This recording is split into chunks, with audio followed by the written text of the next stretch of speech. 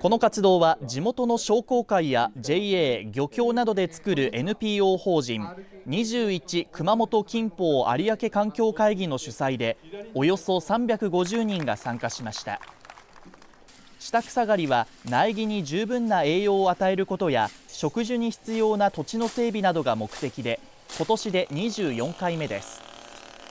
今朝の熊本市の気温は午前9時の時点で30度を超える暑さでしたが参加者はおよそ2時間かけて苗木の周りなどに生えた草を刈っていました。いやもうコツコツ毎年やるしかないんじゃないかな。と思って参加しています。